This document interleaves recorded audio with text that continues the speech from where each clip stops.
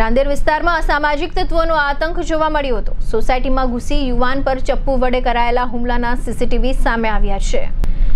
સુરતના રાંદેર પોલીસ મથકની હદમાં અસામાજિક તત્વોનો આતંક વધી રહ્યો હોય તેવા દ્રશ્યો સામે આવ્યા છે.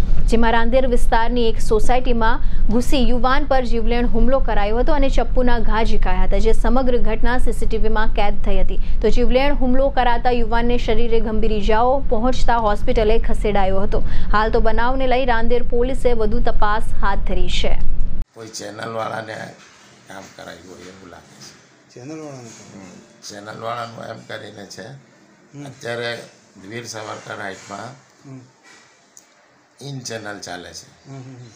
ને આપણે જીઓ ફાઈબરને પરમિશન આપી છે. આજથી અઠવાડિયા પહેલાં આ જ માણસ સુનિલ મરાઠી પાંચ છ જણાને લઈને મારા ઘરે બી આવેલો મેં કહી મને કહી કે અમે જીઓવાળા જ છીએ.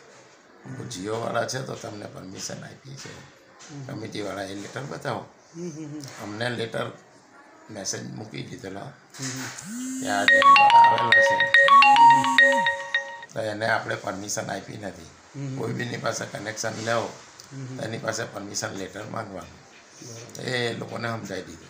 પછી એ લોકોને કીધું કે તમે ઉપર કોની પરમિશન થઈ ગયેલા. બિલ્ડિંગમાં આ તો ભાડેદાર છે. બરાબર. બિલ્ડિંગના જે રહેવાસી હોય એને પૂછવાનું હોય કે તમે આમ જ કોઈ બી જગ્યાએ તમે પહોંચી જાઓ. એ તો નહીં ચાલે બરાબર. હા. હવે એની અડાવટ છે એવું લાગે છે.